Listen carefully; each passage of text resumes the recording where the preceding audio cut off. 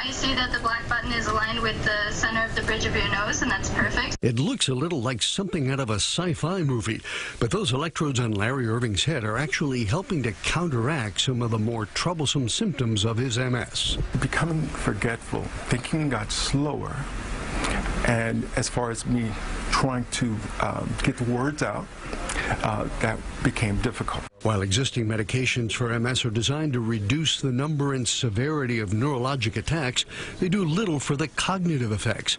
That's where the electrical stimulation comes in. What We're interested in, for instance, um, is improving cognitive functioning. So we target broadly the frontal regions of the brain. Dr. Leigh Charvet and colleagues at the NYU Langone MS Center have developed this mild electrical stimulation as a way to amplify the effects of brain training computer exercises. So I'm going to give you your code. Your code is 217. The key is that the brain training has to be repetitive to be effective. So this is something Larry does at home, while an NYU Tech monitors the session from the MS Center. Let me know if you need me for anything, okay? I'm here. A just published study compared a group of MS patients who did brain games alone against those who used electrical stimulation with the brain games. Speed of processing, complex attention, really sensitive um, computer-based measures, that's where we really saw the difference in the groups. Larry worked in finance before his diagnosis, and electrical stimulation has restored his love of numbers. I could remember numbers again. I could remember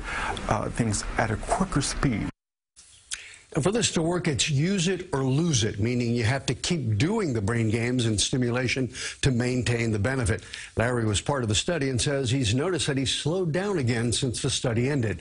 Dr. Charvet is now seeing if Parkinson's patients might also benefit from electrical stimulation. He just says he just feels a little mild tingling when he's when he's doing it and he's playing the games. It's wow, and you can do it so conveniently too, which That's is the whole amazing. key is you can do it at yeah. home so that you know you don't have to be going back and forth to the doctor or the hospital.